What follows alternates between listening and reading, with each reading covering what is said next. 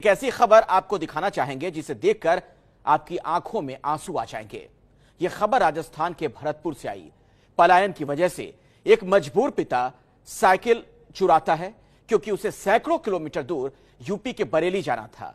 उसने साइकिल चुरा तो ली, लेकिन उसका दिल नहीं माना। ईमानदारी उसने दिखाई, उसने एक चिट्ठी लिखी, और चिट्ठी में उसने कबूल किया कि साइकिल चोरी उसने की है। ऐसा क्यों किया, इसके बारे में भी उसने चिट्ठी में लिखा है।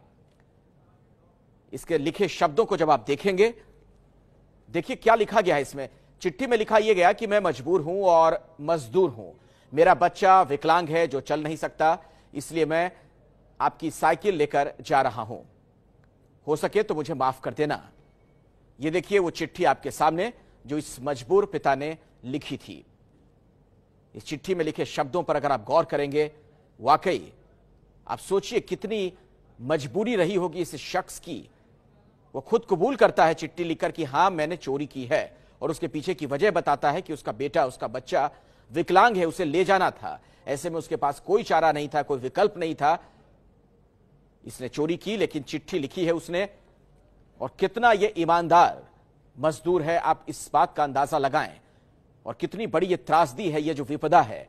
ऐसे ऐसे मामले सामने आ रहे हैं कि आप रो पड़ेंगे। नमस्ते जी। मैं आपकी साइकिल लेकर जा रहा हूँ। हो सके तो मुझे माफ़ कर देना, क्योंकि मेरे पास कोई साधन नहीं था। मेरा एक बच्चा है, उसके लिए मुझे ऐसा करना पड़ा, क्योंकि वो विकलांग है, वो चल नहीं सकता। हमें बरेली तक जाना है। आपका कसूरवार एक यात्री, मजदूर एवं मजबूर, मोहम्मद इकबाल खान, बरेली।